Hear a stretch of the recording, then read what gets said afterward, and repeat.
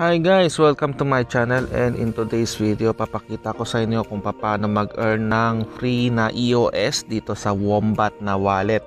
So kapag wala pa kayong Wombat na wallet, make sure to download and register uh, using my link dun sa video description. Alright?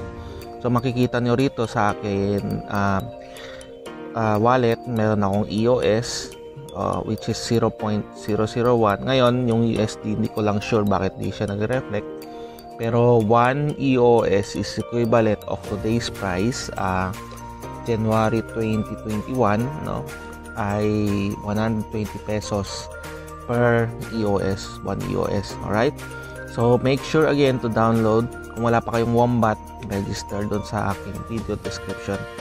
Then yung pangalawa is we are going to a website called the wombatplay.io uh, nasa video description din dun.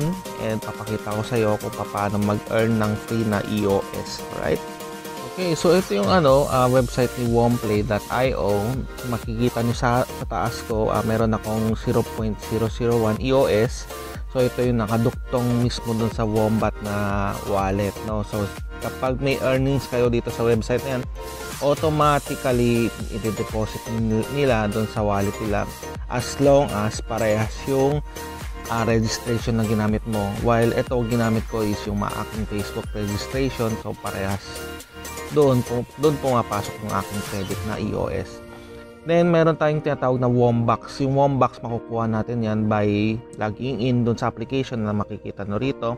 Daily login or pag play ng mga games you know ito yung magda-download ka ng application mismo no doon sa Google Play para mag-earn ng uh, Wombox then meron din tayong mga quick play oh kunwari itong uh, basketball 3D and example lang yan.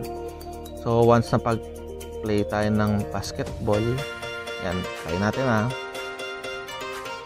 yun. Or or kunwari i-exit lang natin yung application. Automatically meron akong ma-earn na Wombox no ayun hindi nag ano hindi nag-load eh. Uh, kailangan mag-play pala no?